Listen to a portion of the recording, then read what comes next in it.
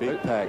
They certainly locked the ball in pretty well then, Collingwood. There was really almost no option there apart from a long kick or the real short. Francis off the ground. It's not far away. What about that?